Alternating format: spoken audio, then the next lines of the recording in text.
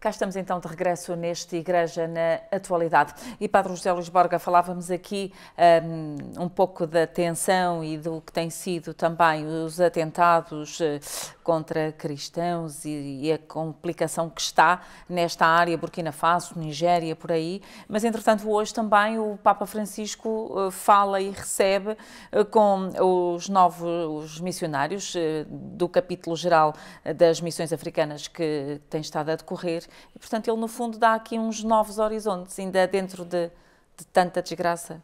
Olhamos para. É. Uh, a frase é, é, do Papa de hoje, portanto, são palavras do Papa ao receber os participantes. Temos aqui a fotografia já agora, uh, que se pode ver, cá está.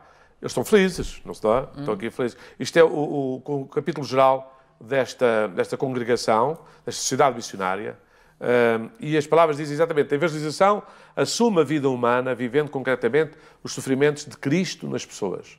Uh, é engraçado, porque não é a gente dispor-se a sofrer uh, em nome de Cristo, é, é a abraçar os sofrimentos das pessoas onde Cristo sofre.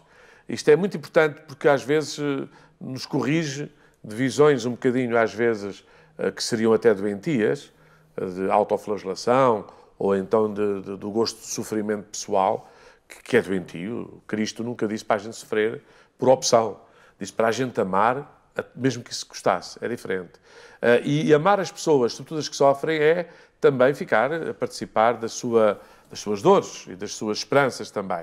Uh, ah, 80 participantes neste capítulo geral, do qual um dos quais está aquele padre que ficou uh, retido, está, está desaparecido, e diz o Papa, dizendo: Fico feliz também pelo desejo de vocês desenvolver novas formas de presença entre as populações de origem africana e outras partes do mundo, em particular entre os imigrantes.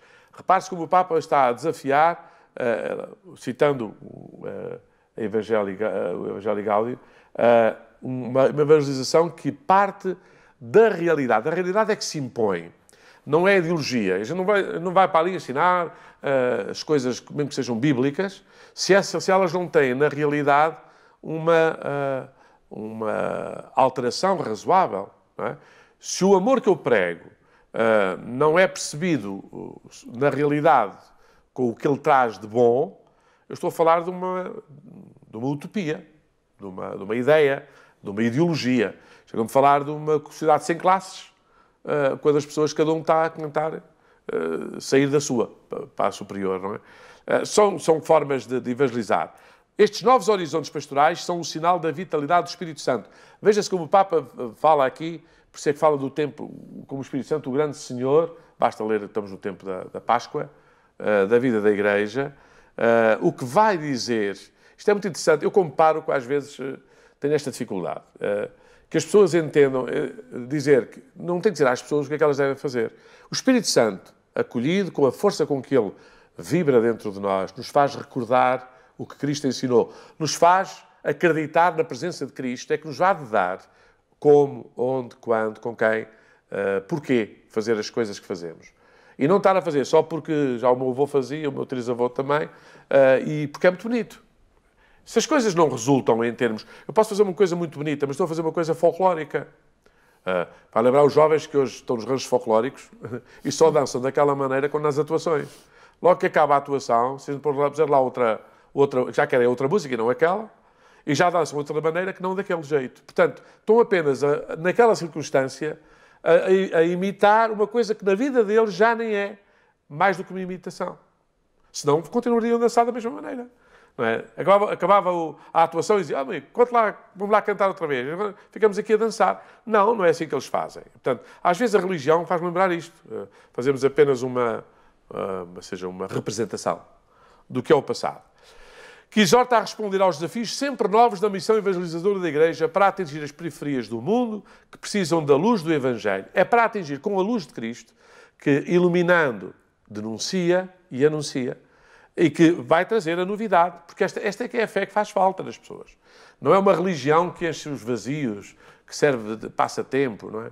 Ah, padre, eu, uh, domingo que eu não vá à missa, não é domingo, não é nada. Mas podia dizer assim, a semana que, que não tenho na Eucaristia... Uh, alimento, não consigo amar uh, nem os meus colegas de trabalho, nem as tarefas que eu tenho. Não tem nada a ver com isto. É só ver que, ah, sinto-me vazio, não vou à missa. Uh, é como se aquilo fosse uma, sei lá, uma, uh, um momento de, de, diversão que marcava a diferença dos outros dias, não é? Bom, é, é, é, aqui que está a razão. Eu fui buscar esta frase porque ela dita aos superiores daquela, daquela sociedade missionária, está um pouco a, a desafiá-los para o que é este, novo tempo de missão. A evangelização, repara aqui como esta frase é tão uh, na linha da, da Evangelho Gaudi, a evangelização é sempre composta de uma comunidade que atua, quem atua é a comunidade. Isso é muito interessante, porque não é o, não é o missionário. O missionário ajuda a discernir, ele alerta para, ele facilita que é, é um pouco o que faz, uh, o que faz, vou dizer este exemplo, um, um terapeuta familiar. O terapeuta familiar não resolve problema nenhum de nenhum casal. Ele pode ajudá-los. Como é que eles podem resolver o problema? Portanto, quem resolve o problema, por isso é que cuidado forem pagar a consulta, uh, porque ele, em princípio, não resolve problema nenhum. E é bom que ele diga que não resolve, mas ajuda a que os próprios saibam resolvê-lo. E, e um pouco a comunidade é isso. A comunidade, quem faz é a comunidade. Um padre não faz comunidade, ele tem é de servir a própria comunidade. Atua mediante obras e gestos no dia a dia dos outros, encurta as distâncias e até leva, se necessário, à humilhação e assume a vida humana vivendo-a concretamente os sofrimentos de Cristo nas pessoas. É, é, é uma, uma síntese muito interessante. Uh, primeiro, uh, não é apenas um desejo, são obras e gestos. Uh, muitas vezes este Papa fala através disso, não? Do que faz e dos gestos que tem. Ele tenta muitas vezes dizer isso. No dia a dia dos outros, quer dizer, não é para si, são gestos para si.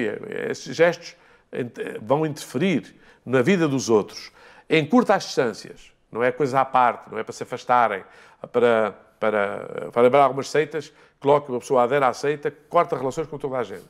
Quase que se afasta de tudo, quase não respira nem a calar. Se quiser respirar, é só aqui na, no, nosso, no nosso culto, não é? Uh, isso é, é, o mais anti-evangélico que existe. É como o sal que não salga ou como a luz debaixo do alqueire. Uh, não chega a lado nenhum. Portanto, o, o Papa uh, vai dizendo, porque a escolha dos últimos, dos que a sociedade rejeita e exclui, é o sinal que expressa concretamente a presença e a solicitude de Cristo misericordioso. Diz-me com quem andas, dir-te-ei quem te move. Cristo vai particularmente por aqueles que são os mais afastados e os mais distantes. Bem, aqui também nós temos que nos render e, se calhar, reconhecer que andamos muitas vezes a fazer prioridades que não são as mais, as mais ajustadas a esta, a esta sabedoria de vida. Pois cá está, são palavras que vão dizendo àquela gente que afinal não é os sofrimentos do, dos missionários que nos custam. O que nos custa é o sofrimento de tanta gente que até os missionários uh, abraçam uh, desta forma pela sua proximidade. Não é? É isso Muito que vale a pena. Olhamos agora para a 37ª Assembleia Ordinária da, da Conferência Episcopal Latino-Americana, que está uh, a decorrer nas Acaba Honduras, amanhã? não é? Termina amanhã. Termina amanhã. Uh, e, e, portanto, o, o Papa também já lhes enviou uma mensagem lançando até assim uma espécie de desafios. É, saímos do, da África, uh, destes lugares onde os desafios são imensos, para chegarmos à América Latina onde também uh, as coisas não estão não nada estão fáceis, fáceis, e sobretudo para a Igreja, não só por causa dos escândalos também que lá estão, mas também pelas uh, ditaduras e as, uh, os extremismos que ali, felizmente, campeiam por todo o lado e, e são, não são novidade, infelizmente. a SLAM, a Conferência Episcopal Latino-Americana, está reunida até amanhã nas Honduras, a 37ª Assembleia Ordinária, e o tema é olhar para Deus e para os povos da, Latina, eh, da América Latina e Caribe. Olhar para Deus e para os povos, as duas direções.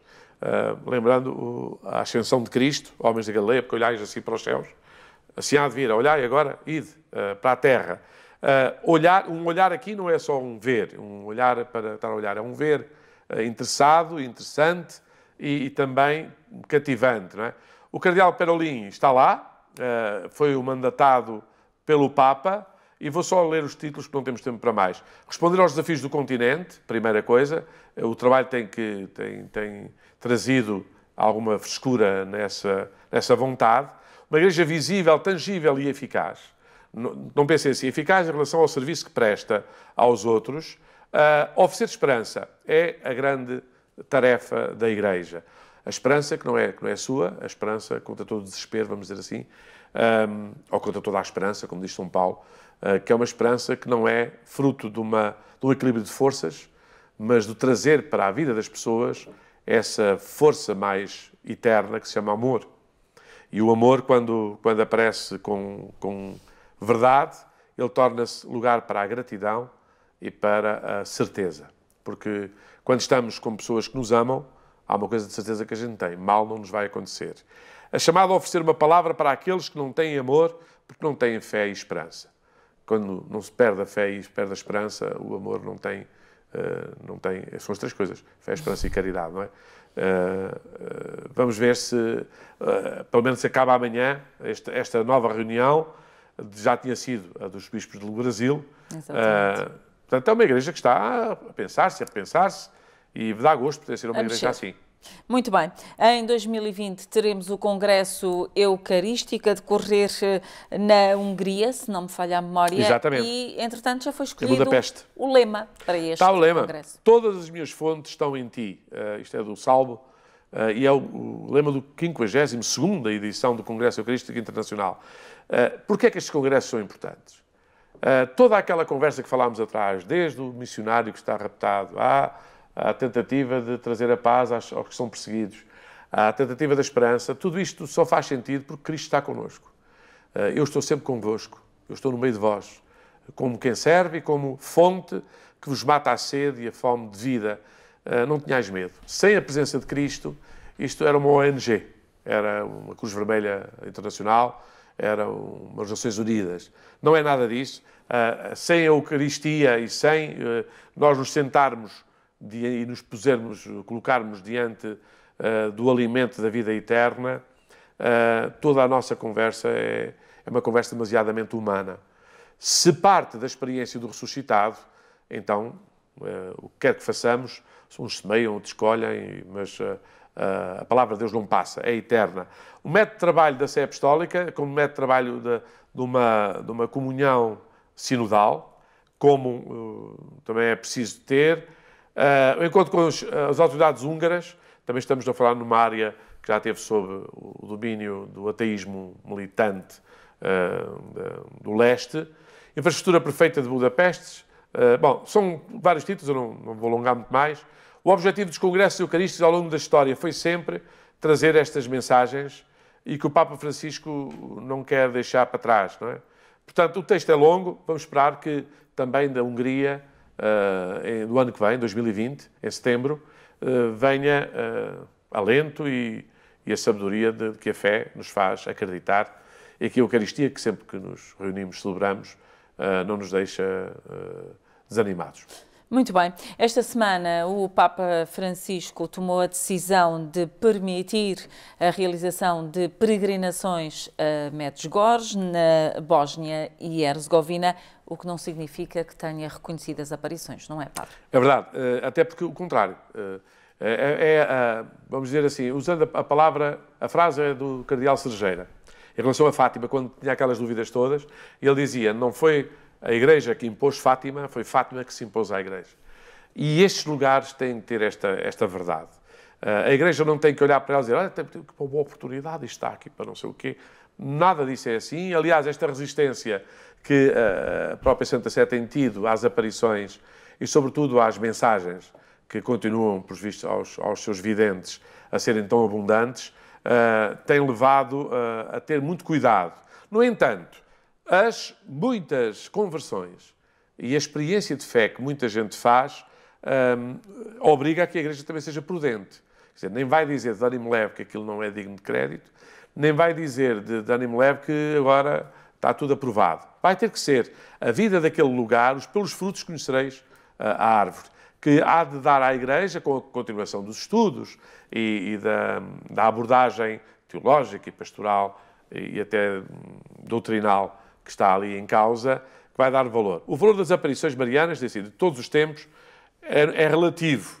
Uh, de facto, explica o professor Graça, que é um professor que está a ver as coisas, elas, mesmo mais, mais importantes, não nos dizem nada de novo, nada de diferente. Aliás, para serem autênticas, elas têm que dizer o que diz o Evangelho.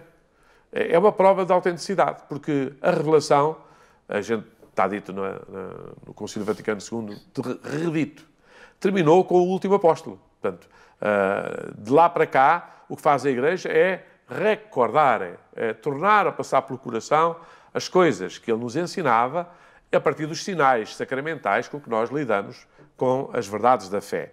Por isso, eh, é preciso ver se as coisas que estão a ser ditas, mesmo naquelas aparições, estão de acordo eh, com, tal crivo, com o tal crivo de perceber se há alguma coisa que não está nos Evangelhos. Não se pode Nossa Senhora agora vir dizer uma coisa que o filho não disse. Nem ela gostaria. Exatamente. Fazer o que ele vos disser. Portanto, essas aparições também têm que ser vistas, por isso, analisadas com muito cuidado, estudadas, por forma a que não haja, uh, no meio do, do, coisa que parece muito santinha, vir alguma coisa que seja nefasta para a fé. Muito bem. Avançamos eh, para hum, o Cardeal Parolin um, e um pouco também dar-nos conta de como é que vão os avanços de negociações com a China, uh, este diálogo como é que está a ser mantido e deixar aqui alguns pontos que ele considera importantes e nós também. O tema é, é longo, eu, eu, até estudei bastante, estive a ler, não temos tempo, estamos a acabar o tempo, portanto, vou só dizer basicamente isto. A avaliação que o Cardeal Parolin, que, que é no fundo o secretário do Bispo, do, do Papa... Do Papa, assim, secretário de Estado bispo, do Vaticano. Exatamente que ele diz é o seguinte: as pessoas tendem a ver uh, o diálogo como uma coisa uh, acabada, fechada. E ele uh, está, no fundo, a, a chamar-nos a atenção que o diálogo que se está, e isso é que está a ser positivo, que se está a conseguir ter com as autoridades chinesas, é um diálogo muito longo que tem sido feito até agora, até o Papa Francisco, era feito de um não diálogo, que era dizer cada pessoa escudava-se nas suas posições e via no outro apenas um mentiroso, um, não vale a pena, a gente se fala, perde. A diferença é que agora está a aproximar-se do diálogo por forma a que os problemas que continuam a existir. Portanto, a história aqui não é uh, impor, acabar com a perseguição aos cristãos, com a, a, a história do reconhecimento dos bispos, que, que, que, eram nacionais, foram nomeados pelo, pelo partido e não, e não pela, pela Santa Sé. Todos estes problemas continuam a existir e eles têm que ser trabalhados e não vão ser resolvidos a curto prazo. É isso que ele está a tentar dizer. A diferença está em que, ao longo destes meses de diálogo, tem-se conseguido, de parte a parte, mais conhecimento, mais confiança, para acreditarem que o diálogo é possível. Portanto, basicamente, o que tem acontecido, a gente quando vai, sobretudo, para os grupos mais extremistas, uh, vindos até da China, do interior da China, uh, que vêm, dão tudo como perdido e que o Papa está a deitar tudo fora, está a, perder, está a ajoelhar diante do poder uh, chinês. É, é, o que ele está a dizer é exatamente o contrário. É que este diálogo vai facilitar os desafios para os enfrentar de forma a que o diálogo seja um lugar próprio do, do, da ponderação. E, e, portanto, é isto que ele está, está, a tentar dizer. É uma avaliação que nos faz bem ouvir, para não dizer. Uh, Diz aqui, olha, só para dizer, as recordações do cardeal das longas negociações. Isto é, então, é, os chineses têm paciência de chinês? Sim, para mim é que aqueles saiam de lá, mesmo a tortura chinesa, é melhor não ir para lá. Tudo é muito demorado. Eles têm muitas convicções, são culturas ancestrais também. Uh, apesar de tudo, são mais antigos que, que, os, que os, cristãos. Uh, a gente só tem dois mil anos, eles têm milhares. Muito mais. Uh, e, portanto, as palavras para o povo chinês e para quem os guia, portanto, foram palavras de. Este diálogo é sobretudo importante porque ele mostra onde está o virtuosismo desta aproximação, onde está a esperança que esta aproximação está a dar, mas também onde estão os problemas sérios que, através deste diálogo, se espera sejam pelo menos atenuados e, e quem sabe até, o que é mais importante, uh, uh, diminuídos e resolvidos. Muito bem, Padre, é assim que vamos terminar? Vamos terminar assim. É? Os problemas continuam, o nosso diálogo é a mesma coisa. É a mesma coisa. Não resolvemos nada, mas vamos tentando. Mas vamos tentando. Sinalizamos. Pelo menos aclarar. E agradeço a paciência chinesa com que me ouvem. com que estão connosco, não é? é? Muito bem. Sabe que episódio foi este? Não. Ah, pois é. O 96. 96, é, estamos quase 100, 100 episódios. 100, já viu? No 100 ah, é que isto é. vai acabar tudo. 100, 100 é uma festa. Sem, sem programa. Sem, nesse dia é sem ser, programa. É, exatamente, em vez de ser o programa 100, vai é, ser sem programa. Sem programa, exatamente. Pronto, padre, ponto de encontro marcado para a semana, para a semana está bem, fique bem. Depois a seguir é que me conta uma andata, pode está ser? Bem. Pronto, muito bem. Para si, caro telespectador, uma ótima continuação de sexta-feira, fique bem, um excelente fim de semana para si. Olha, o melhor mesmo é sorrir para a vida, porque se ela não sorrir para si, você está sempre pronto para sorrir para ela. Até amanhã, fique bem. Estamos em sua casa, estamos no seu coração. Somos Ângelos TV, a televisão católica portuguesa.